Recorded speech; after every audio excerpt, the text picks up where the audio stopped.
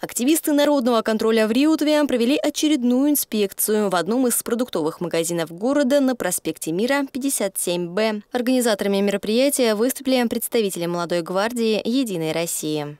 Обычно проверяем всегда э, желтые ценники, так как э, на них может быть э, как раз товары, которые вот-вот выходят из своего срока, поэтому действительно проверили желтые ценники, оказалось, что сыр уже как неделю находится, не должен, не, не должен находиться на прилавках.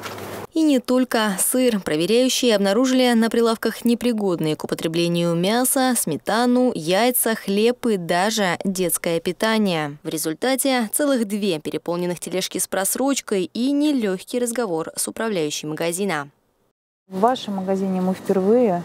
А, вот, и, конечно, нас ситуация сегодня с просроченными продуктами, вот, которые мы нашли за час, ну, изрядно удивила. Как правило, всегда бывает просроченная молочная продукция, мясная продукция и вот заморозка и детское питание вот там внизу у нас. Но такого улова, конечно, большого у нас давно уже не было. Все находки местных ревизоров тут же отправляют на утилизацию, и они уже точно не вернутся на продуктовые стеллажи. Кроме того, на этот раз, помимо свежести товаров, участники народного контроля акцентировали внимание и на стоимости продуктов, особенно тех, которые входят в так называемый борщевой набор. Решение взять ситуацию с ростом цен под особый контроль было принято после прямой линии президента страны Владимира Путина с гражданами в конце прошлого месяца.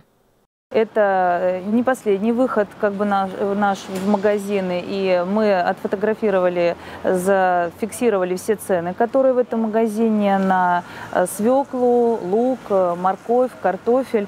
Вот. И дальше будем уже сравнивать с ценами в других магазинах и э, с нашим рынком. Мониторинг цен на основные продукты питания проходит во всех регионах страны. Как сообщают власти, механизм сдерживания цен уже разработан. Первые итоги этой работы подведут уже через пару недель. Елизавета Филимонова, Станислав Хрычков, телеканал ТВ Реутов.